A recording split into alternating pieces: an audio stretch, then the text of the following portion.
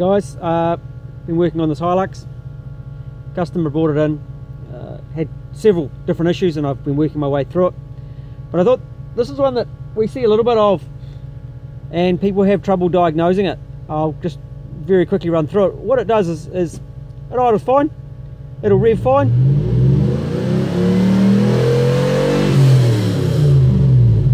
It, it appears to be doing everything right, but if you stomp on it, it dies.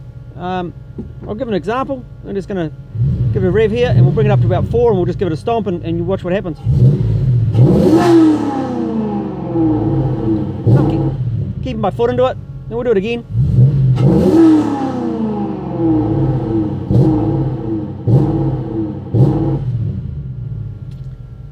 Now, I've actually checked this one over.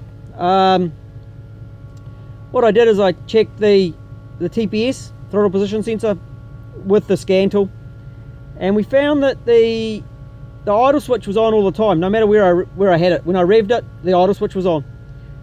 Um, I'd clear the codes and I could actually induce that fault and then it would bring up a throttle position sensor code.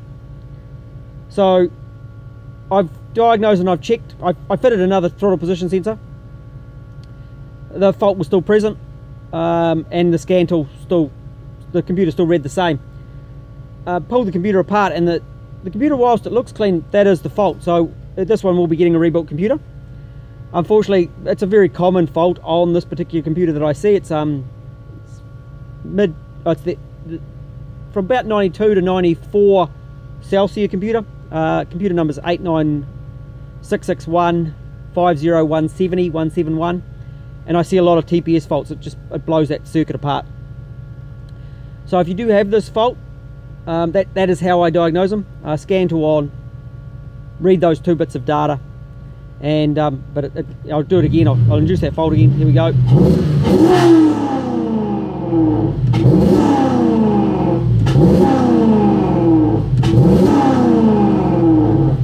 Um, or important to note though, is I had already checked fuel flow.